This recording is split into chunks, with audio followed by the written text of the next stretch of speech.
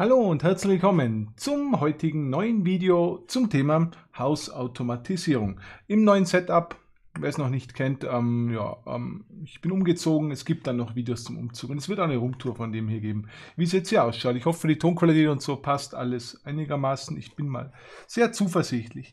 In dem heutigen Video fangen wir an mit einem mehrteiligen Video mit einer mehrteiligen Videoserie.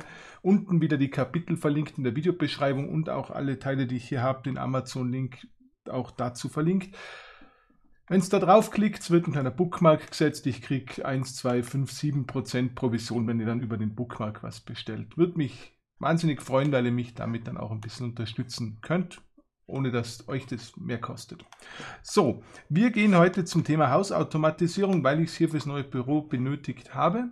Ich habe hier einiges hausautomatisiert, ein, zwei Temperatursensoren, Licht, Rauchmelder, was ein wichtiges Thema ist. Und ich habe jetzt noch gleich ein weiteres Hausautomatisierungsprojekt und das ähm, ziehe ich jetzt mit euch zusammen auf, damit ihr einfach mal grob wisst, wie das funktioniert, was man damit machen muss. Wir beginnen also mal mit dem Hardwareaufbau, mit der Beschreibung, was man so benötigt, was fein wäre, was cool wäre, wenn man das hätte für die Hausautomatisierung.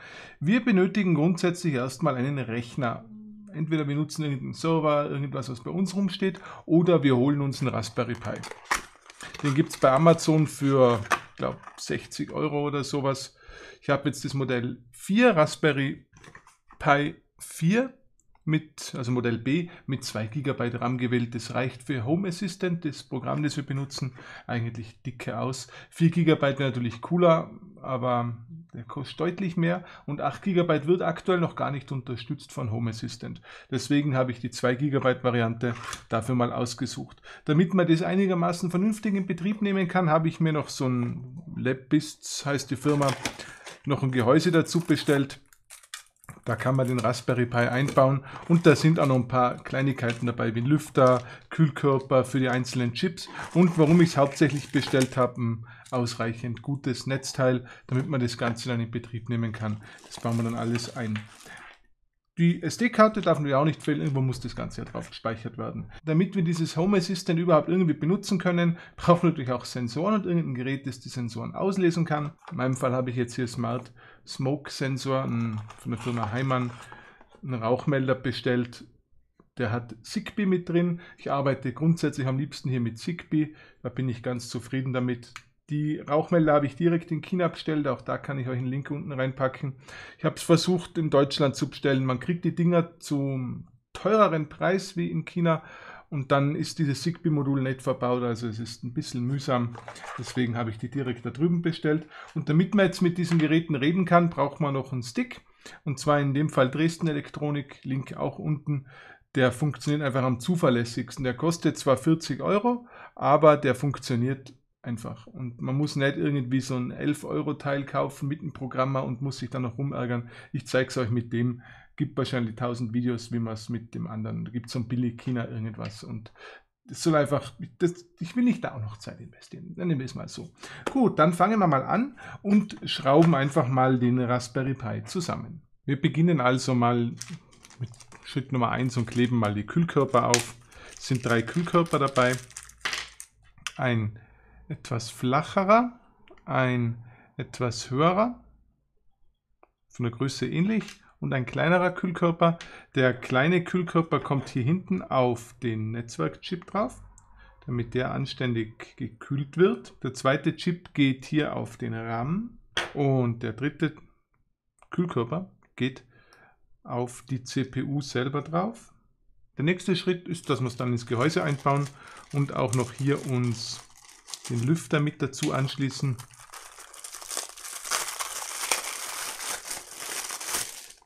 Das Gehäuse selber ist dafür gedacht, dass man auch eine Kamera mit benutzen könnte. Hat hier das Loch für die Kamera mit drin. Und aufkriegen tut man es ganz leicht, indem man es einfach klippt. Sind hier sogar Schrauben mit dabei. Der Raspberry Pi kommt so rum in das Gehäuse hinein. So, jetzt ist die Kelle, jetzt sieht man was. Kann ja gar nichts sehen gerade eben. So, man hat quasi den Raspberry Pi hier drin. Man kommt hier zur MicroSD-Karte, man kommt hier zu den USB-Anschlüssen, Netzwerkanschluss. Mir gefällt das Gehäuse definitiv. So, der Lüfter wird jetzt hier irgendwie drauf geschraubt, würde ich mal schätzen. Es ist im Übrigen sogar ein Schraubendreher mit dem Lieferumfang. Also man muss nicht mal einen Schraubendreher haben. Finde ich schon mal sehr praktisch. Den Raspberry Pi selber schrauben natürlich auch noch fest. Und nun haben wir ein kleines Kärtchen dabei. Auf dem steht die Pin-Belegung von dieser Stiftleiste vom Raspberry Pi. Es gibt jetzt zwei Möglichkeiten, wie man das Ganze montieren kann. Wir haben hier einmal schwarz die Ground-Verbindungen, also das schwarze Kabel können wir auf jeden Fall schon mal hier ins dritte, in die dritte Stiftleiste stecken. Und jetzt können wir den Lüfter entweder mit 5 Volt betreiben, so wie es der gedacht ist. Man sieht ja hier DC 5 Volt, ist ein 5 Volt Lüfter. Oder man kann ihn aber auch hier bei 3,3 Volt, also die Stiftleiste hier, der Stift hier links unten anstecken. Dann läuft er nur mit 3,3. Dann ist er etwas ruhiger und nicht so extrem laut. Deswegen stecke ich ihn mal lieber bei 3,3 Volt an. Dann kommt das Ganze hier drauf, wird verklippt und das war es auch schon. Somit wäre das Ganze eingebaut. Wir stecken als nächstes noch nicht die MicroSD-Karte rein, denn die müssen wir jetzt erst vorbereiten und diese Softwarevorbereitung zeige ich euch jetzt. Also wie schon gesagt, wir benutzen für diese komplette Hausautomatisierung die Software Home Assistant. Die ist wirklich toll, also das ist eine kostenlos verfügbare Software und die Macher von dem Teil, das ist echt, also die haben da richtig krass Arbeit investiert und ich bin begeistert. Es gibt da oben Getting Started. Ich erkläre euch jetzt mal kurz, wie das funktioniert. Man sollte eben Raspberry Pi 4 Modell B mit 2 GB haben, wäre ganz gut. MicroSD-Karte, wie gesagt, haben wir hier.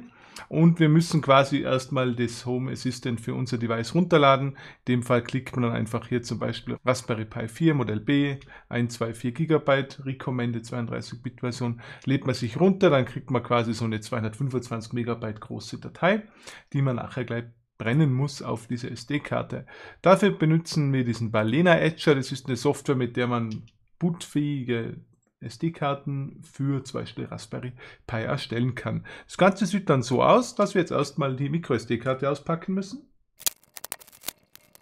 und dann diese Micro-SD-Karte in einen SD-Kartenleser einzulegen. So, wenn wir die drin haben, will das erst aufmachen. Sie ist zum Glück schon mal leer, das freut mich schon mal sehr, sehr.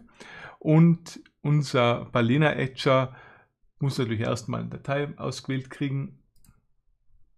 In unserem Fall jetzt hier HassOS RP4 4.11, aktuelle Version, die wir gerade eben runtergeladen haben.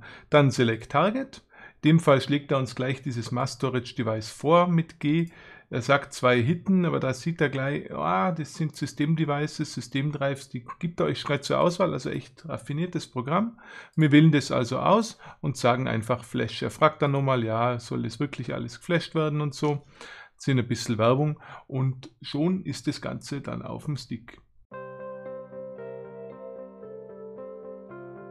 Und schon ist es fertig. Wie man gesehen hat, diese Class 2 Devices, die es mittlerweile gibt, 64 GB mit 160 MB Read und 60 MB breit, wie da drauf steht. Also der hat jetzt hier mit USB 3.0 Hub habe ich da dran mit dem Kartenleser.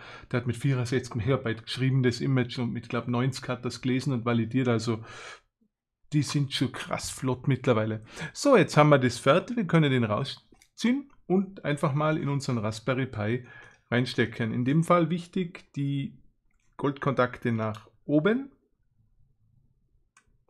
und dann ist er auch schon eingerastet.